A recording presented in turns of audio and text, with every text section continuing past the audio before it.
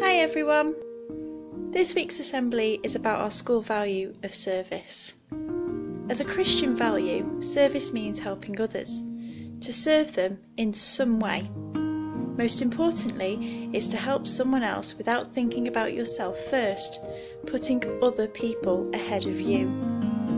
As one of our school rules says, treat other people as you want to be treated.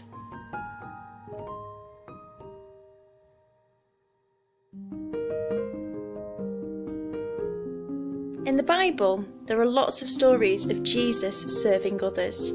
Even though he was the Son of God, he didn't think himself too great to wash other people's feet, to heal them, and to give them food. During this time, we've seen lots of people helping and serving others doctors, nurses, care workers, teachers and teaching assistants, volunteers for food banks, churches, charities, homeless shelters, and people in the community have all been of service to people in different ways. Think about what you could do to help and support somebody during this time.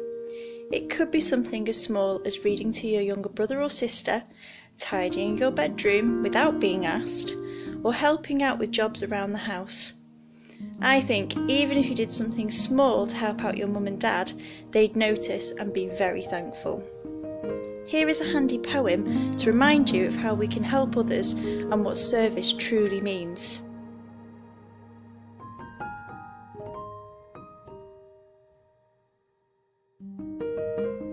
Why not try to do a small act of service this week?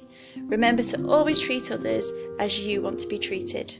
Putting others first helps everyone. Take a minute to pray and think about today's assembly.